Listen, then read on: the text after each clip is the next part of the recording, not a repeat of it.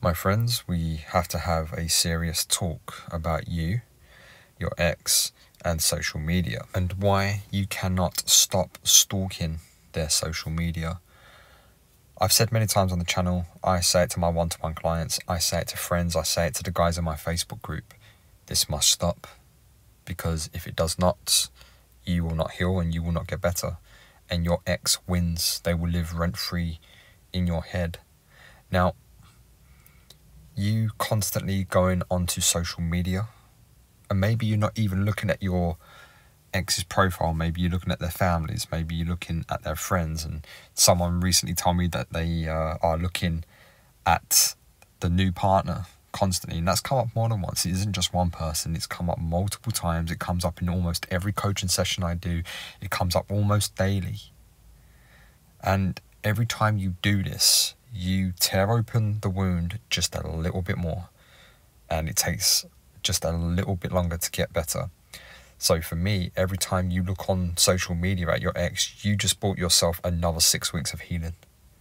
Now, social media, doing this on social media is like having an, an ulcer in your mouth. It will get better if only you would stop tonguing it. And that's kind of what's happening with the social media thing. And right now, you might be asking, Nick, why is this such a big mistake? Well, the reason it's a big mistake is because you are focused on the breakup. You are focused on your ex. You're not focused on yourself. And if you're not focused on yourself, if your ambition is to get them back, they won't ever come back if you're not focused on yourself because you're not getting you back. And if you're not getting you back, if you're not focused on you, and your ex does come back, who will they find? The person they dumped, the person they do not want to be with, the person they lost emotional attraction for, or will they find the person that did the work and leveled up? Now, the people who do the work and level up do not have time for social media. They do not have time to be stalking their ex on social media.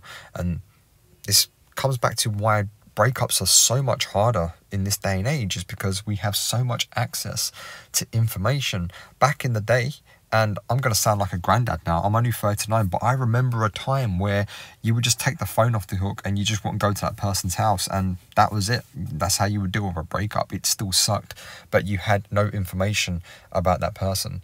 Now, you may feel that having information about that person is helping you because your anxiety, or rather your need for information, is causing you anxiety, and your anxiety is leading you to go onto social media.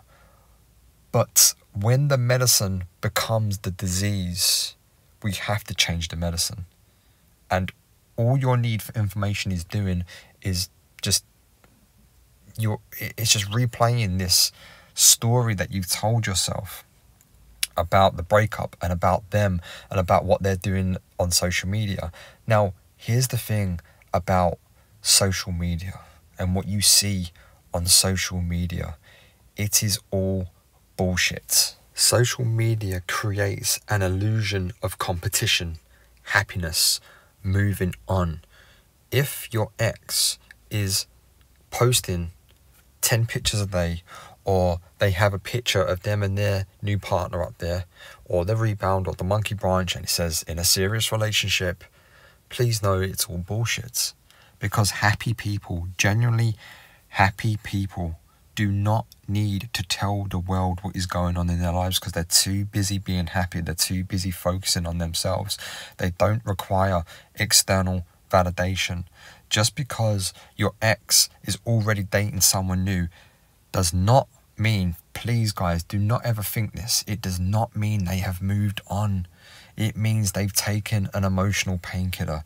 Now, don't get me wrong, there are exceptions to every rule. Some people may have moved on because maybe they checked out months or even years before your breakup actually happened because your breakup is the last event in a series of events that led up to that breakup.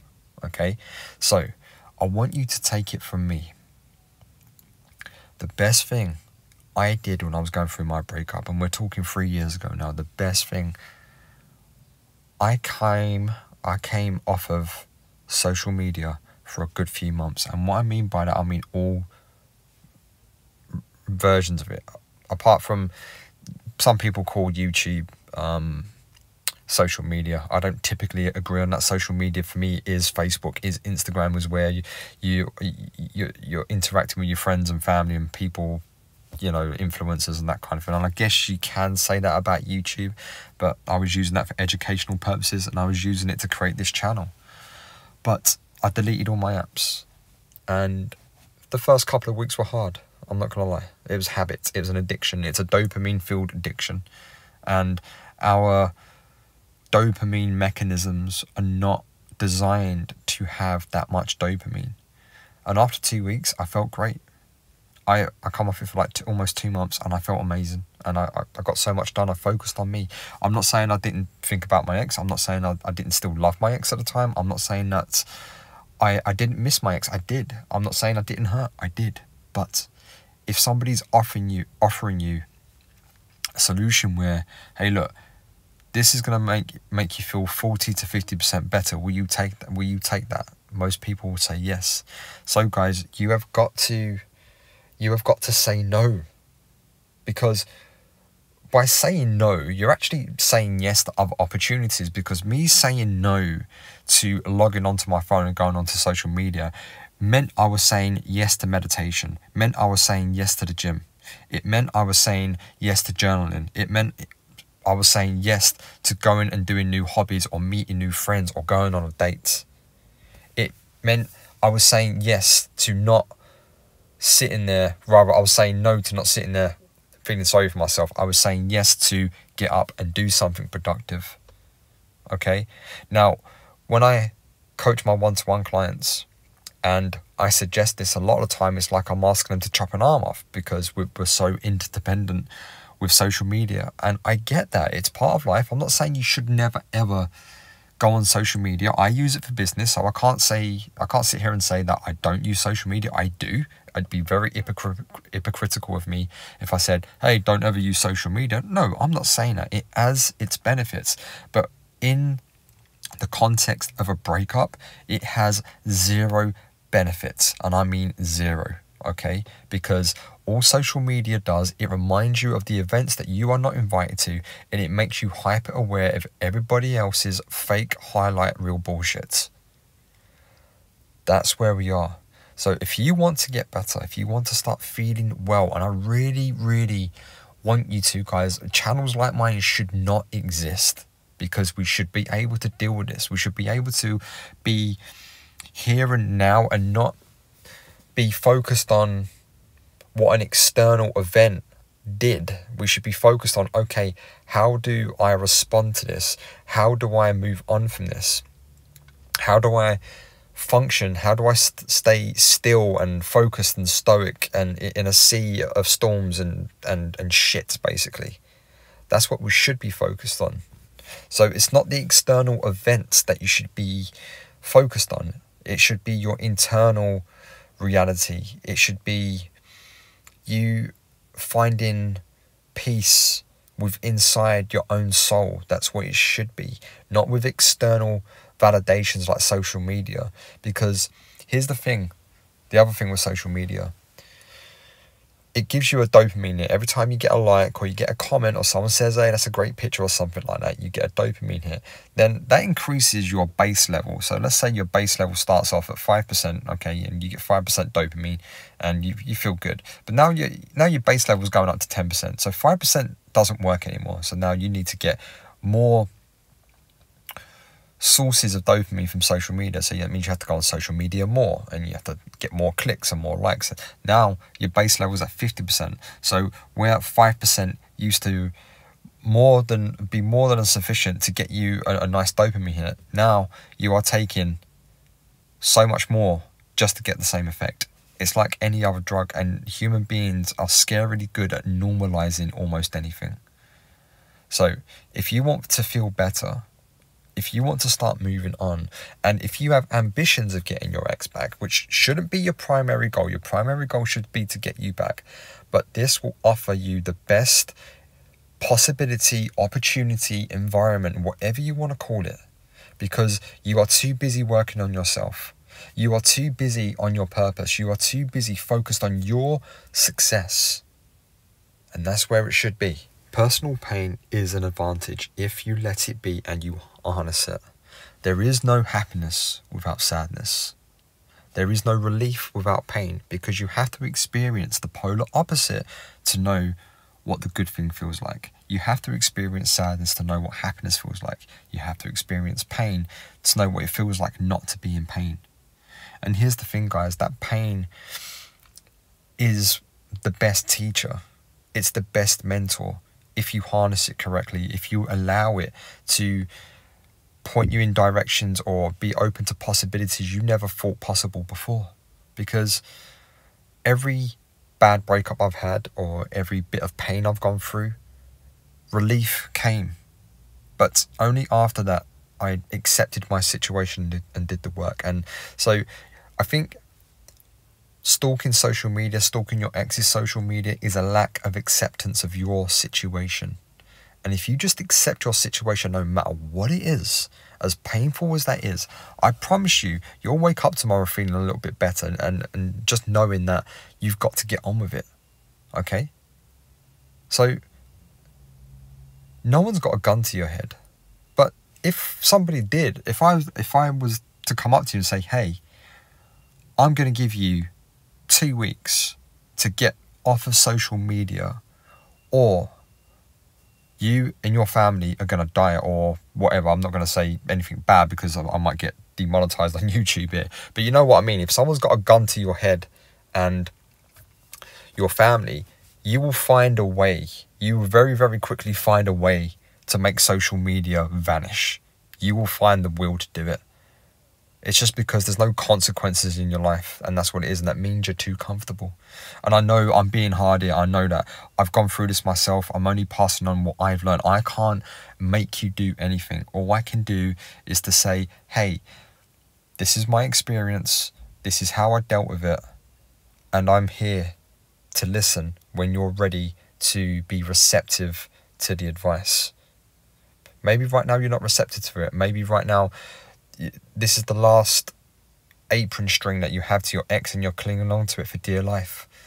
But guys, the sad truth is you lost them the day they call time on your relationship. They're gone. Okay? And yes, okay, they may come back. They may come back. I don't know. Maybe they do, maybe they don't.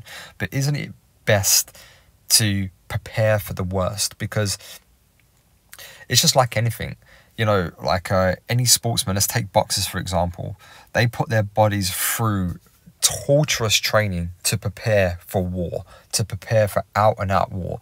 And they may win in 30 seconds, they may win in, in, in round one, but they have to go in prepared for 12 viciously hard rounds of getting hurt and getting, you know, bashed up. They have to be prepared for that. There is a quote from G. Michael Hopf, I believe. I've, I've probably got that name wrong, but I'm going to modify it slightly. Hard times create strong people. Strong people create good times. Good times create weak people. And weak people create hard times. So, this follows on with another saying that I like I would rather be a warrior in a garden than a gardener in a war. So I would rather be prepared for hard times than be unprepared for when those hard times actually arrive. So, my friends, by not going on social media, you are toughening yourself up. You are preparing for hard times. Because while you're stuck on social media, you're literally doing nothing. You are stuck on day one of the breakup. You are not going anywhere. You need to start preparing yourself for life without your ex and a life with someone even better than your ex. Because saying no to your ex, saying no to the person that dumped you, saying no to the person who doesn't want to invest in you in, anymore means you can say yes to other opportunities, means you can say yes to someone even better than your ex that may become your forever person, that may be, become your husband, wife, or parent to your children. That's what you're doing by coming off of social media. That's what you're doing. You are investing in you, you are investing in the future, and you are investing in preparing yourself for future hard times and future good times. And that's why we, we needed to have a talk today. Because this is getting out of hand. Too many people are hooked up on social media, and guys, it must stop.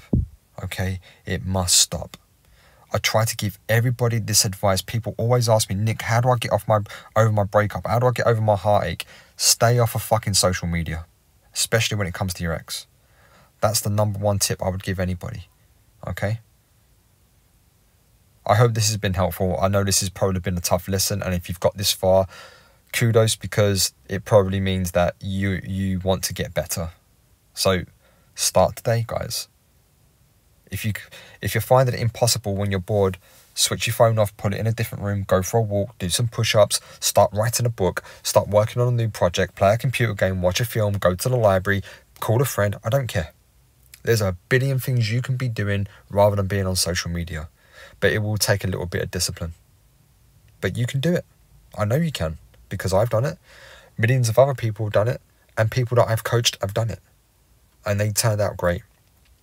They got better, they got well. Some of them, their exes did come back, and my clients said, No, I'm good. Thank you, but no thanks. You don't meet my minimum requirements anymore. And they moved on to better people, and they are far, far happier. I will see you on the other side.